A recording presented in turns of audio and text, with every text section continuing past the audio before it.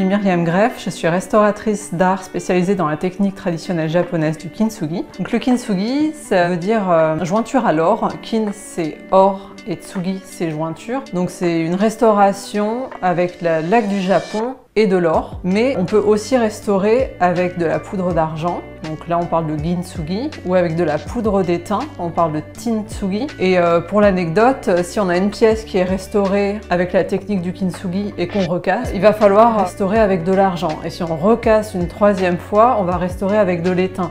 C'est vrai que dans cette technique, ce qui est intéressant, c'est que c'est que des matériaux naturels et on peut même euh, restaurer sans poudre métaux, c'est-à-dire avec euh, un joint de lac euh, coloré, donc ça peut être noir, ça peut être rouge, et puis aujourd'hui on peut avoir des lacs de toutes les couleurs. Ça laisse une possibilité de création assez infinie pour un art qui au départ est juste une réparation que je cherche à transmettre à travers le kintsugi, c'est la beauté en fait de la fragilité de, de, la vie. On a tous des accidents de vie, on a tous des blessures et on peut tous en faire quelque chose de plus beau. Et il y a aussi le fait de s'appuyer sur ses propres failles pour créer de la beauté. Et c'est quelque chose que je trouve très intéressant et que c'est vraiment un, beau message et une belle philosophie euh, de vie à transmettre qui au final touche toutes les populations. J'ai des clients dans tous les pays du monde, de toutes les origines, toutes les langues, toutes les religions. On a tous cette chose euh, qui nous touche en tant qu'humains en fait et qui nous réunit tous autour de ces cassures sublimées et c'est assez incroyable au final.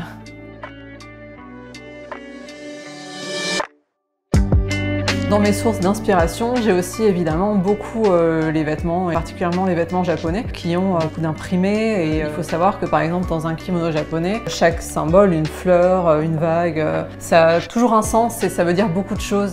En tant que femme, je me définis beaucoup par mon métier. En tant qu'artisane et aussi chef d'entreprise, j'ai besoin d'avoir des vêtements qui sont faciles à porter, qui sont respirants, dans lesquels je peux être à l'aise. Je pense qu'il faut autant prendre soin de soi-même que je prends soin des objets, tout simplement. La tenue que je porte est euh, inspirée euh, de la technique du kintsugi, donc elle m'a forcément beaucoup plu. On retrouve euh, évidemment les lignes d'or et puis aussi plein de, fils d'or dans la trame. Le pantalon en lin, c'est vraiment quelque chose de super confortable pour porter à l'atelier au quotidien. C'est vraiment le, genre de tenue idéale, à la fois chic et facile à porter. C'est vraiment le genre de, de choses que j'adore mettre tout simplement.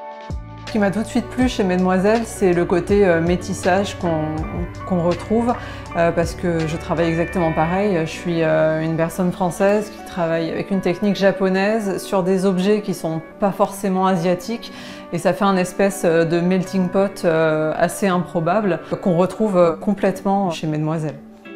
Toutes les pièces que je crée sont disponibles à la vente sur mon site internet et on peut aussi me contacter via ce même site ou tout simplement sur Instagram.